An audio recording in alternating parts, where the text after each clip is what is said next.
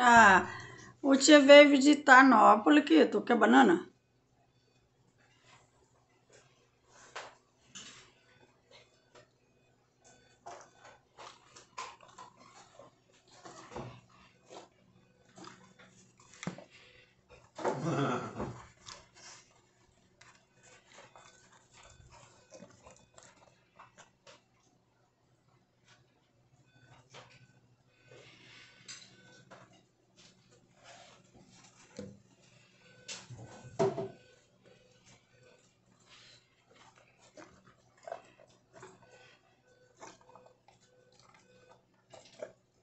Gostoso, bananinha, periquito.